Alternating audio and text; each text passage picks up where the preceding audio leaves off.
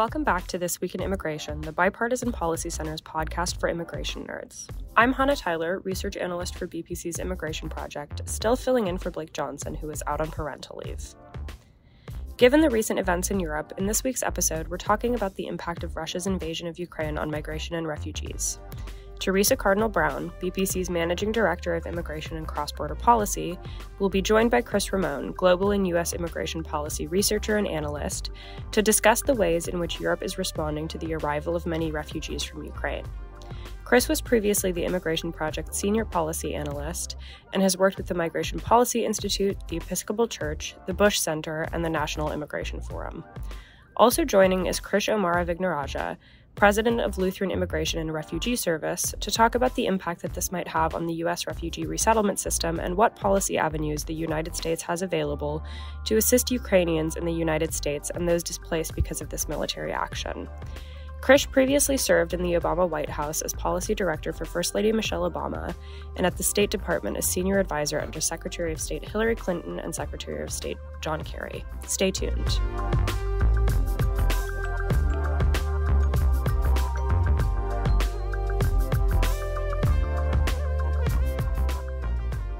Welcome back. As Hannah noted, our guests today have unique perspectives to share on the humanitarian refugee crisis that Russia's invasion of Ukraine has created. Longtime listeners of the podcast will remember Cris Ramon, a regular voice on This Week in Immigration, when he was a senior policy analyst for the Bipartisan Policy Center. He's now an independent researcher and an analyst, but well versed in comparative U.S. and European migration as a former Fulbright scholar in Spain. So, welcome back, Cris. It is fantastic to uh, be on this podcast and uh, brings back a lot of warm memories. Great. Well, we're really happy to have you. Um, we're also thrilled to have a friend of the BPC and president of the Lutheran Immigrant and Refugee Services, LIRS, Krish O'Mara Vignarajah, who is joining us. Uh, LIRS is one of the national refugee resettlement organizations in the United States and also an advocate for immigrants and refugees. So, welcome, Krish. Thank you for having me. So, Cris, uh, I'm going to start with you. Um, we have all been seeing in images of the media over the last week the Russian invasion of Ukraine has already displaced hundreds of thousands of Ukrainians and other nationals in what the UN High Commissioner for Refugees, Filippo Grandi, has called the largest refugee displacement in Europe since World War II. Uh, many of us saw how Europe reacted to the migrants arriving from Syria and North Africa in 2015 and 2016.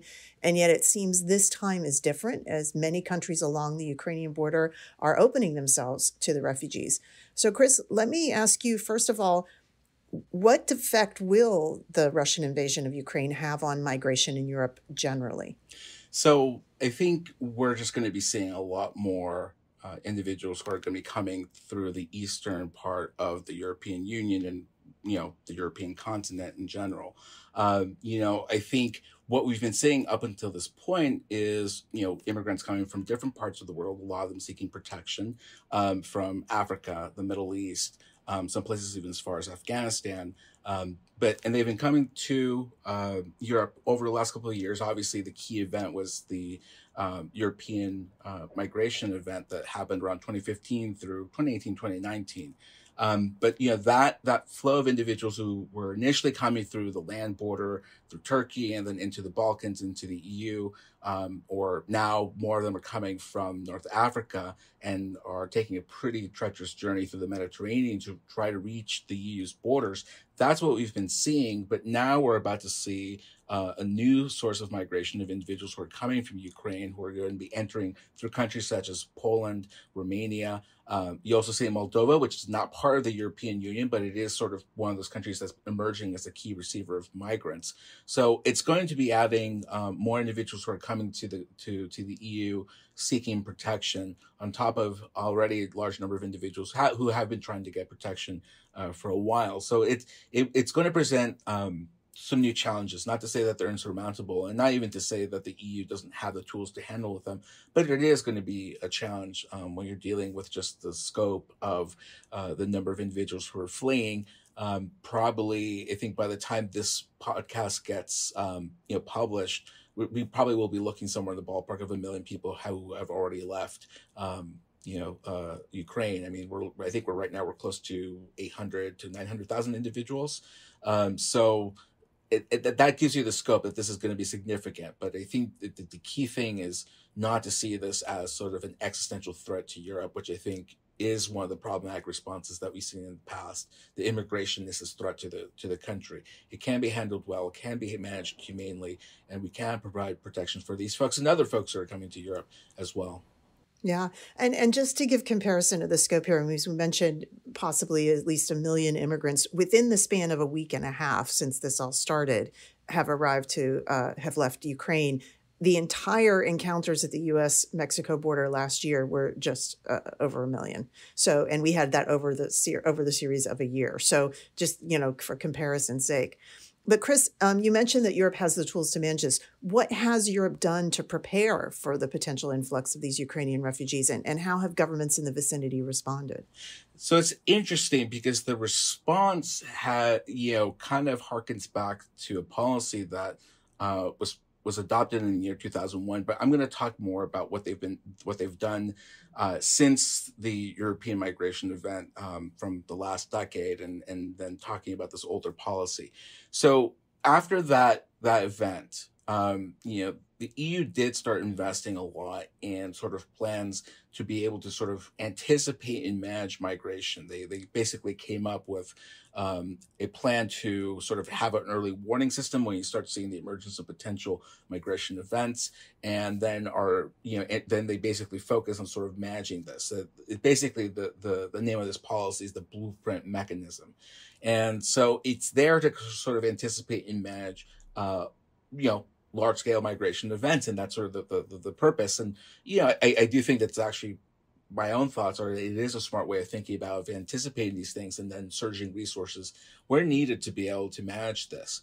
Um, but at the same time, it is worth noting that also at the member state level, you have seen a greater uh, emphasis on deterrence at the border. Um, you know, you know, one of the things that we saw earlier this year was the arrival arrivals of migrants through Belarus into the Polish border. Um, that you know the Belarusian government was kind of you know weaponizing, to be fr- frank, um, and you saw Poland start setting up uh, border infrastructure to prevent individuals from coming in. That's just one example. We've seen other countries such as Hungary doing this or Greece um, in different ways, shape, or form. So it's interesting that the EU is sort of thinking, how can we manage these things better? But at the member state level, there is a has been an emphasis on deterrence. Now, what's interesting is that the response that we've been seeing from the EU also touches on two things. One is that uh, Ukrainian nationals do have visa free travel in the EU um, and can remain in the EU for 90 days. So that's one of the ways that these folks are being able to come in. But the European Union is also looking to actually start implementing uh, another policy, which was called the Temporary Protection Directive, which was adopted in 2001 after you saw the large number of, of refugees coming in from the, the wars in, in, in, the Balkans and the former Yugoslavia. And that basically is able to provide fast track protection that's temporary for three years, allows individuals to stay in the country, be able to work. And so this is now um, being enacted by the EU. The steps to, uh, to invoke it are being adopted right now to be able to provide sort of this temporary protection. So, um, you know, there there is a response. I think that's more proactive and less deterrence focused. I think the long term questions though is whether this you know warm welcome we're seeing is actually going to last uh, if this if the war continues for an extended period of time. Yeah, I mean, you mentioned that some of the countries that had maybe some of the hardest line against the uh, Syrian, Middle Eastern, and North African refugees are being very welcoming of the Ukrainians, including Hungary and, and Poland. You know, but also you also mentioned that the EU is prepping this sort of temporary protection. Do you think that's a distinction right now? Is that they see that the Ukrainian refugees may be just temporary versus the uh, Middle Eastern and North African refugees were looking for permanent resettlement in the in the EU? I would say so. Yes, I think I think right now the assumption is that if this is a short term event, uh, then you know that lasts somewhere in the ballpark of that temporary protection period that you see from the directive.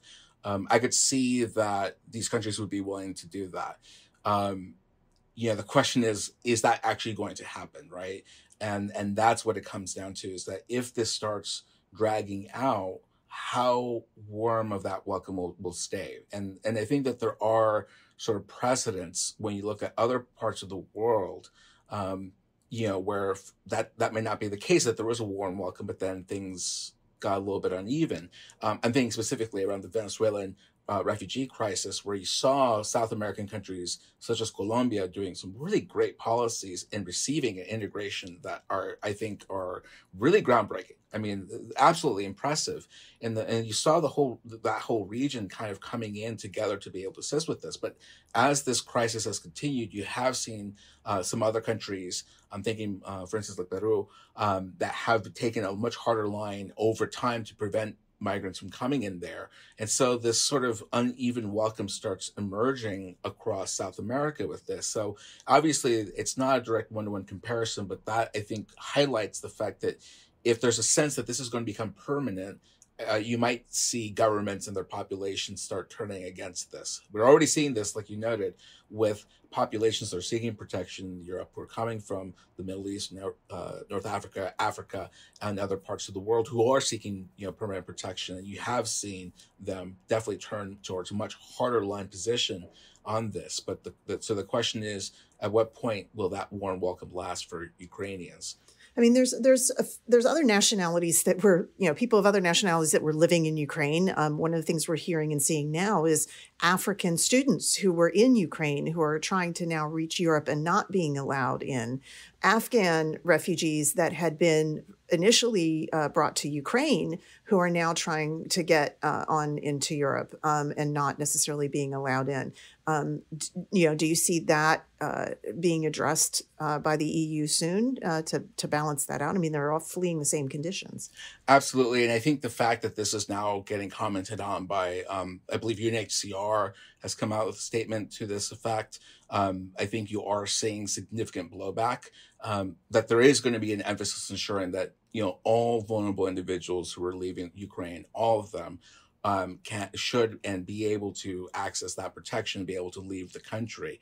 Um, but I think that this does speak to sort of this very, you know, this double standard that you know, you know, one population is receiving a warmer welcome than the other one, and I think that's reflective of sort of this broader trend of the EU just being very different and wary, if not, you know, bluntly at times outright hostile to individuals who are coming from other parts of the world in comparison to folks from Ukraine the United States has, I know, sent troop troops and humanitarian aid to the countries in Europe that are receiving the Ukrainian refugees, as, um, as well as what we're sending to Ukraine itself. What more do you think the United States could do at this time to help Europe receive refugees? I, think the key question is, um, you know, the State Department's uh, Bureau of Population, Refugee, and Migration, which does a lot of the coordinating with international organizations such as the IOM, UNHCR, but also with the EU on migration issues. The question really is how can that high level dialogue between the European Union and the United States through the State Department really identify what the EU needs in terms of assistance from the United States? Um, you know, it's interesting because last year, you know, there, there, were a couple of meetings in the EU with the administration, and one of the issues that did come up was immigration and future EU-US coordination on these issues. So I think that this is an opportunity for at least for like you know, thinking through policy responses. Um, that could be one potential channel, but in terms of resources, and I think uh, Chris can definitely speak to this a little bit more than uh, uh, you know on this is is really is how can you ensure that the EU has the capacity and the resources to be able to receive indi- individuals long term. Um, and like I said, individuals, you know, who are in Ukraine, all Ukraine, uh, you know, Ukrainian or non-Ukrainian, all individuals in vulnerable positions that can receive that protection. Um, and I think part of the, that you know calculus is also ensuring that the EU has the resources to be able to provide protection to other populations that are showing up at the same time. Because, like I said, this is sort of one of these issues where people have been seeking protection in Europe and will continue to do so.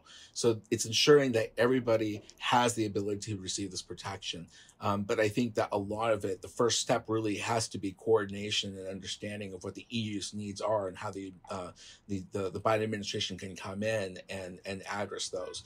But I think over the longer term, as if this continues to drag out, um, it's going to have to be the United States stepping up and also taking uh, folks in and providing them with protection because um, at the end of the day, uh, you know, there's going to have to be some sort of level of global solidarity with protecting these folks. Um, and I think the United States needs to do more on that. Yeah, well, this is, as you mentioned, now it's a perfect time to bring Krish in. So, Krish, let me turn to you. Do do we expect uh, many Ukrainian refugees to come to the United States from Europe or, or from Ukraine? What are we hearing about that? Yeah, so in the immediate term, uh, we aren't necessarily expecting a significant influx of Ukrainian refugees to come to the US. We know that Europe will bear the brunt of this crisis, given these nations' geographic and cultural proximity um, to Ukraine. But with that said, we should still expect to welcome some Ukrainians as time goes on. Um, already, over the past 10 years, the US has welcomed just shy of 20,000 Ukrainian refugees. Uh, we've helped to resettle many of these families, and on a daily basis, our staff have been inundated with calls from them, desperately seeking information on how they can sponsor their families to come to the US. So there will certainly be a demand for it. Um, but as you know, the traditional refugee resettlement system isn't um, as agile as I think many of us would like to see. It can take years, if not a decade or more, to obtain refugee status and ultimately resettle in the US. So it isn't that system that you know kind of is is, is prepared um, and able to in, evacuate in the kind of crisis situation we're seeing. So, what are the U.S. government's policy options for assisting Ukrainians who are seeking protection right now? Um, you, you, mentioned that previous uh, Ukrainian refugees already in the United States may have family members. Could they sponsor them to come to the United States? But what are the other options available? Yeah, so so there are a few different options um, in terms of what the U.S. government can be doing, um, as well as you know Americans. I think the first and most pressing um, is to work with the international community to surge humanitarian assistance to displaced people in the region, as Cris mentioned. Um, there is an immediate need for food, uh, clean drinking water, um, shelter, medical care, um, and, and much, much more. I think part of what you're seeing is uh, there is a understandable desire to get people processed and across the border as quickly as possible. Um, many are going to city centers, but what that means is that there is sort of a d- deferral in terms of what is actually the long term trajectory, um, kind of what are the next steps for these individuals. Uh, we've seen an initial commitment from the State Department to provide uh, $54 million in humanitarian assistance, but the need is only going to grow. Um, in fact, just yesterday, the UN launched an emergency appeal for $1.7 billion in humanitarian assistance. So there is a very long way to go. Um, beyond funding, there is also a need for operational personnel to assist with refugee processing and accommodation. Um, and we've seen a first step from the US in terms of the deployment of uh, roughly 5,000 US troops to Poland. Um, and many of those are supporting um, kind of the, log- the logistical operations and standing up um, that additional kind of reception center capacity.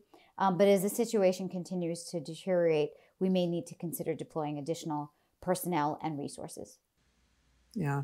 Um, you know, we we heard a, a, lot of warnings from resettlement agencies when Afghan refugees began leaving Afghanistan that the United States resettlement infrastructure was not equipped to handle the influx of people. Ha- have we made any progress in rebuilding that infrastructure since then? And and where does it stand today if we're potentially looking at you know a, another group of folks coming uh, in the not too distant future? Well, I wish uh, that it wasn't on the backs of, of staff um, and volunteers who have been working literally 24 7. But I am pleased to report that we are indeed making quite a lot of progress in rebuilding the resettlement infrastructure. Um, it's worth noting just how decimated the infrastructure was as a result of the prior um, Trump administration. You know, more than a third of local resettlement offices, meaning about 100 offices nationwide, were forced to shut down or suspend services. Um, we at LIRS had about 17 of our offices closed at that time. Um, and so, in many ways, the Afghan resettlement mission fast tracked the rebuilding effort. So, just to give you an example, um, we at LIRS have been able to launch or reactivate 14 sites over uh, the past year, um, less than a year. Um, at our headquarters, we've gone from about 80 staff to more than 260. And we've been able to scale up staffing across our network of local affiliates. Now, only a piece of this is because of refugee resettlement, but I do think it reflects um, rebuilding the capacity that we need um, in this work of welcome. There are still challenges with bandwidth and capacity because it is highly atypical to welcome 76,000 people over a six month period. Um, that hasn't been done on this scale in that time frame since the end of the second, um, uh, since the end of the Vietnam War. But we are certainly making a lot of headway, and we need to make sure that this capacity we've rebuilt doesn't go to waste. And that's where it could be repurposed to welcome refugees from all over the world, including Ukraine. So, what about domestic U.S. policy um, and action to respond to the crisis? Um, there's been calls, uh, including to be for for transparency's sake, the Bipartisan Policy Center has called for temporary protected status for Ukrainians in the United States. Now, this is, I, think, our equivalent of the temporary protection directive that, that Cris was talking about in the EU, but basically for Ukrainians who are already present in the United States who might be in danger of losing status or are in danger of deportation. Obviously, uh, de- deporting people back to Ukraine right now is probably not feasible. Um, you know, that's one option on the table. What other policy options are available to the US government right now? Yeah, Theresa, it's a great question because I do think that just as we have shown um, kind of a return to the global stage and the role that we play as leader of the free world, we are still very much uh, the humanitarian leader of the world. And we shouldn't take a backseat when so many of our Ukrainian brothers and sisters are fleeing violence and oppression at the hands of an authoritarian strongman. Um, so, as Cris mentioned, it is heartening to see um, the temporary protection um, that is being afforded to Ukrainian refugees. We've been heartened to see the White House asked for $2.9 billion in humanitarian aid um, for Ukraine. And we have put out a call to our supporters to urge their elected officials to make that a reality. Um, you know, so if, if you want to send a message to your representative, you can actually go to our um, website at lirs.org and you'll see our Ukraine Action Center um, on our homepage. Uh, we also do need to see the U.S. strengthen consular services throughout the region. Um, we've been hearing reports of extremely long lines at the U.S. Embassy in Warsaw. Um, we expect that trend at other embassies and consulates elsewhere. So we need to make sure that we have the resources and personnel in place to process visa requests in a timely fashion.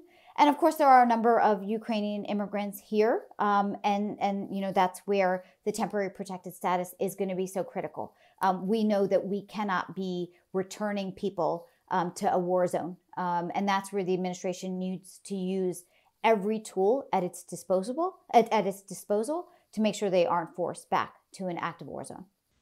Yeah, I, I, mean, you know, it's right there in the statute that that you know, uh, civil unrest and war is one of the criteria that that can be make a country eligible for TPS. So it seems, uh, at least on a on a legal basis, a, a no brainer.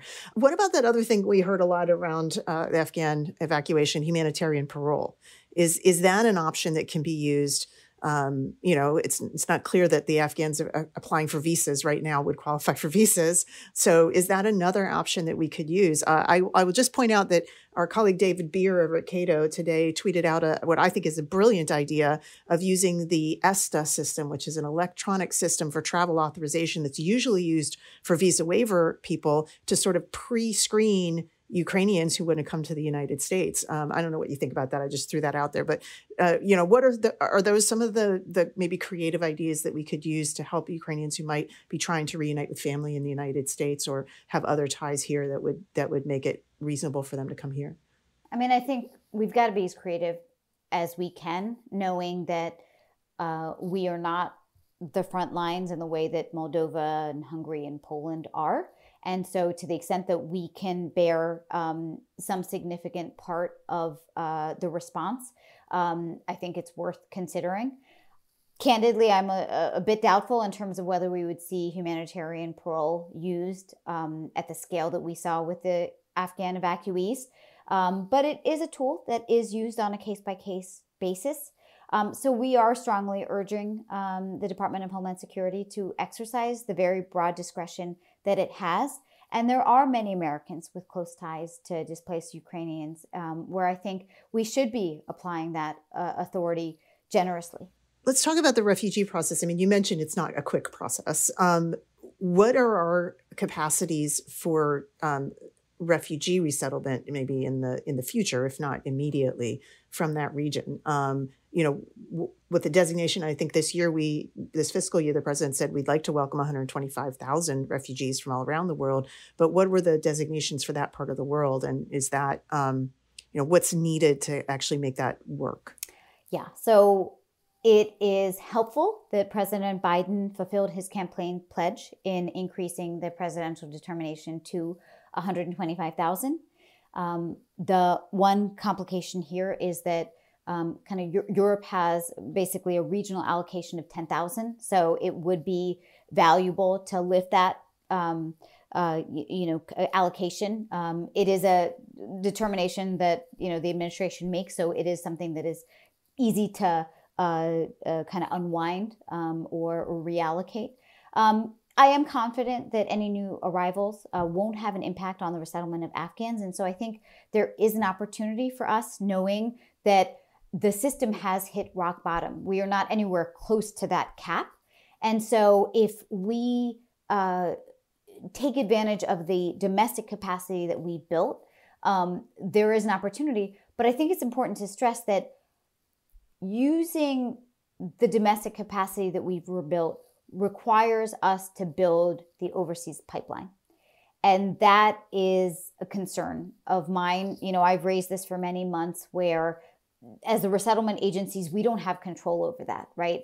That is where the State Department has been nimble and creative um, and industrious in terms of how uh, we work to resettle Afghans. I hope that we are also as creative and innovative when it comes to what role um, we could do to build that capacity in in Ukraine. Um, you know, I know that there is a um, a, a, refugee support um, center in RSC in in Moldova um, that was uh, kind of shifted, but but it, it, it's not as big as we need at this at this moment, and so that's where um, the State Department really has to step up because this is something that needed to happen not just yesterday, but a few days ago. Um, so let me ask the question that I think a lot of our listeners are going to ask: How can Americans help?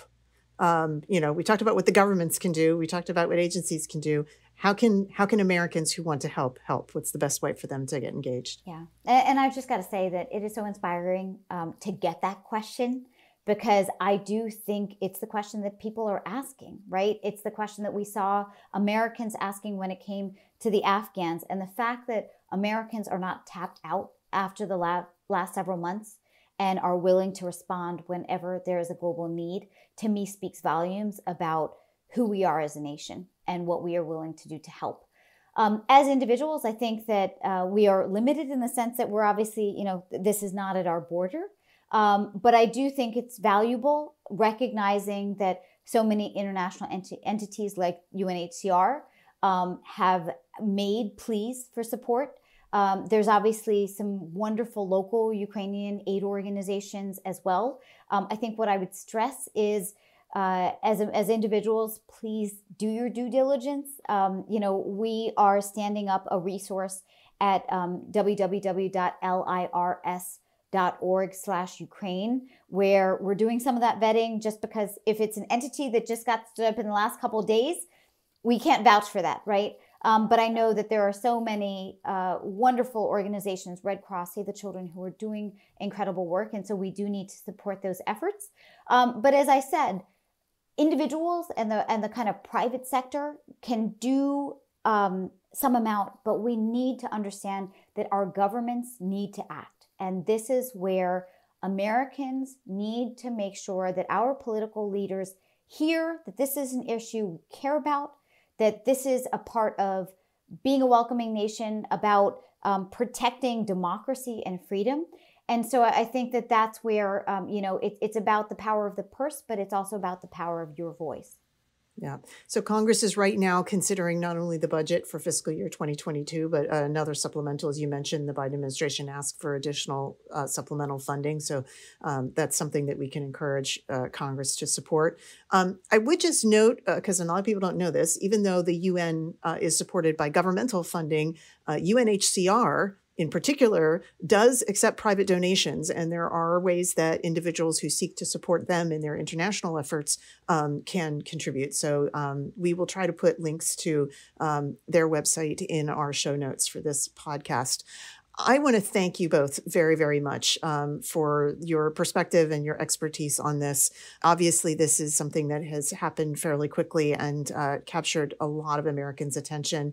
I'm very happy that we were able to break some, down some of the the issues here today, and I expect that we will be talking about this again. So I hope that we you will both be willing to come back at some future time. Thank you so much. Thank you. So just because we like to plug our folks, um, you can follow Cris, Cris Ramon on Twitter at C Ramon Migration. And you can follow Krish at Krish Vignarajah. Also, Lutheran Immigrant and Refugee Services, as she mentioned a few times, is at lirs.org. Thank you both for joining us on This Week in Immigration.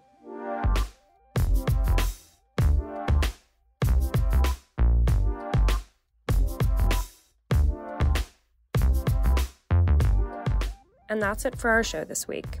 One last reminder to subscribe, rate, and review this podcast on Apple Podcasts, Stitcher, Spotify, or your favorite podcast platform, and share it with your friends and colleagues.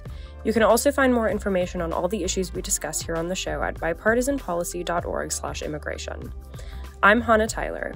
This Week in Immigration was created and executive produced by Theresa Cardinal Brown. This week's episode was written by Hannah Tyler, Theresa Cardinal Brown, and Hanadi Jordan. Ethan Plotkin produces and edits our show. The executive producer of BPC Podcast is Lucy Manning. See you next time on This Week in Immigration.